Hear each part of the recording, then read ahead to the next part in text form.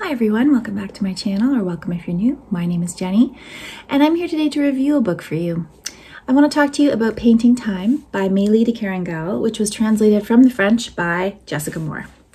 So, um, I've had this book on my TBR for a while since it came out, and I just happened to be looking for something to read while I was at the library, walked by it, saw it on the shelf, pulled it off. This is the one.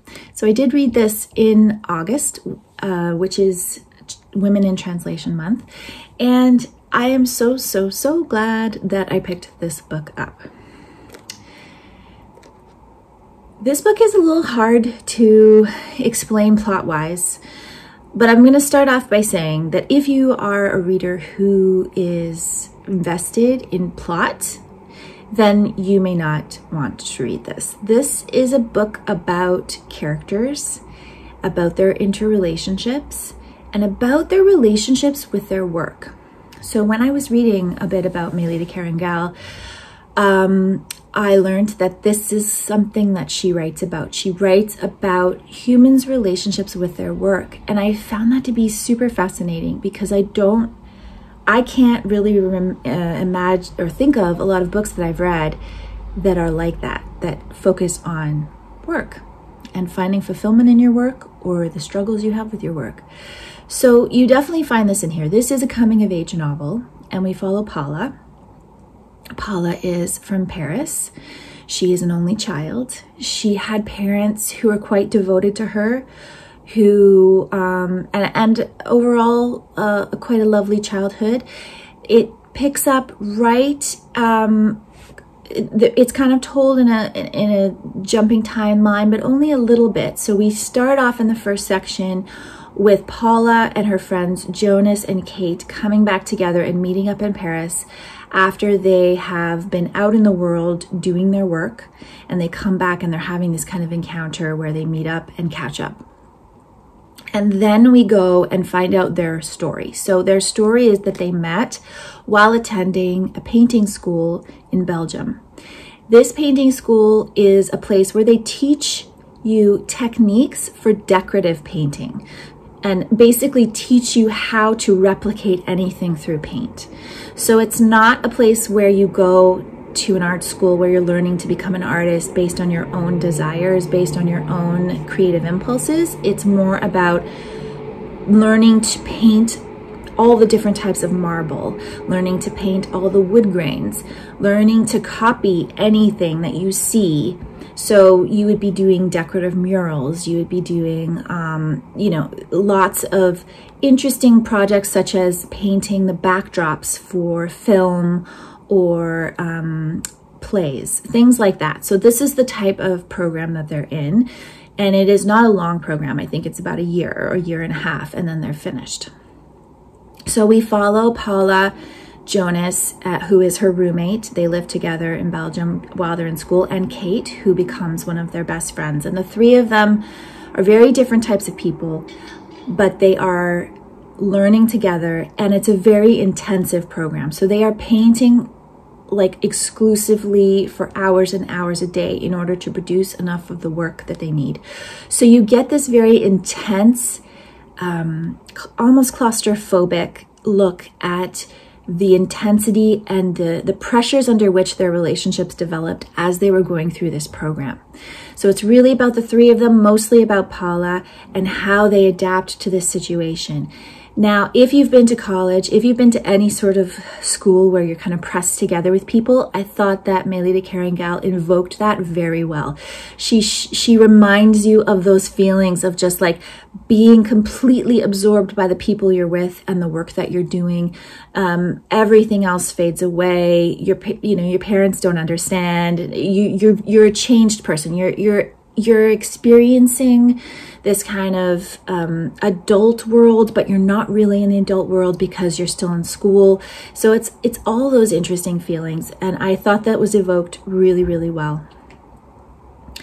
The other thing that de Kerangal evoked in here, which I loved, were these tiny little moments of flashback into Paula's childhood, where she shared one in particular has stayed with me because it's something I remember very well from my own childhood, um, she shared that that the character Paula is put to bed by her parents but she's fascinated by what her parents do when she's not there. And so she gets up and she goes and hides in a little corner and watches her parents as they're preparing their dinner and as they're being adults together.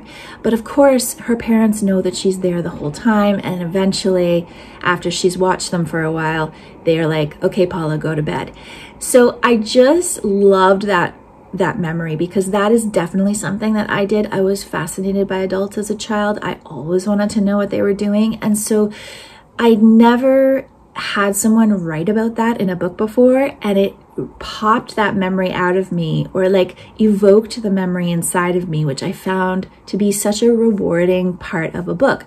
I think that a writer that can do that is just really, really talented because maybe that's something that she did as a child, who knows, but I know I did it. And so to find that memory through a novel is so rewarding. It's just such a lovely thing to to have happen when you're reading a book.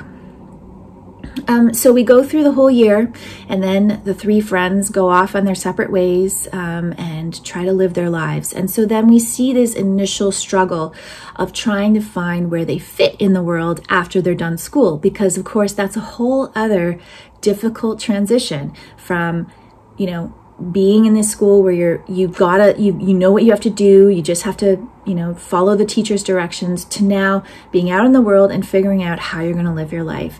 And so we follow them through that as well. Um, and i think we follow them through a good chunk of time.